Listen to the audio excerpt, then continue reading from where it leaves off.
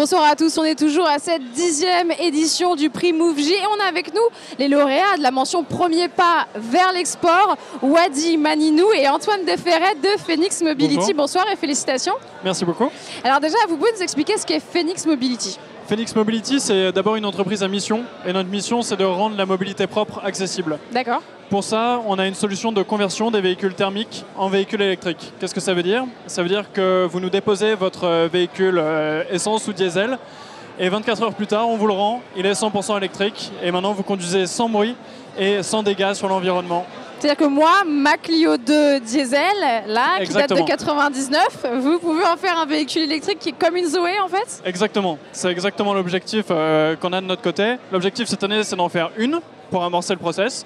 Notre vrai objectif, c'est qu'en 2025, on puisse porter ce nombre de véhicules convertis à 1 million de véhicules convertis dans le monde.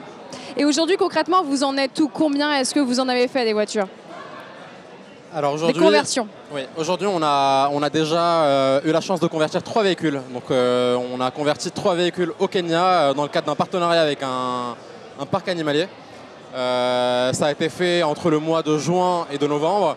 Et depuis, on travaille à optimiser un petit peu notre solution et on travaille aujourd'hui sur des véhicules citadins, notamment sur une Clio 4. C'est mieux, mieux, que la mienne. on parlait de Clio et euh, l'idée c'est de pouvoir proposer un kit de conversion qui puisse convertir des véhicules en moins de 24 heures pour tout le monde et à moins de 10 000 euros. Parce qu'il faut préciser que vous êtes en cours de création. C'est pour ça que pour l'instant, les chiffres, hein, c'est que trois véhicules, mais parce que vous n'êtes pas encore officiellement lancé.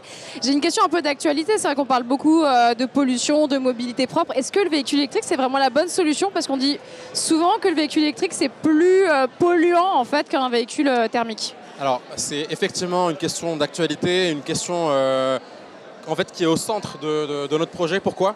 Parce qu'en plus de rendre le véhicule électrique accessible, puisque un véhicule converti coûte moins cher qu'un véhicule électrique neuf, on le rend plus propre. Pourquoi? Parce qu'effectivement, un, véhicule électrique neuf a de l'énergie grise, c'est-à-dire qu'il a nécessité beaucoup d'énergie et beaucoup d'émissions de, CO2 avant de pouvoir rouler pour sa production.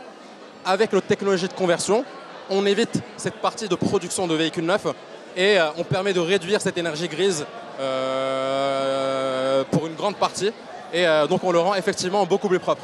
Alors euh, ensuite, bien entendu, on ne résout pas totalement le problème, euh, on permet d'y répondre au maximum et de meilleur qu'on peut et on espère à l'avenir pouvoir aller encore plus loin dans nos démarches.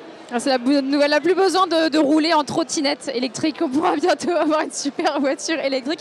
Merci Wadi Maninou et Antoine Deferret de Phoenix Mobility pour votre prix. Merci d'être venu nous parler de votre prix. Premier pas vers l'export. On se retrouve tout de suite pour la suite des lauréats.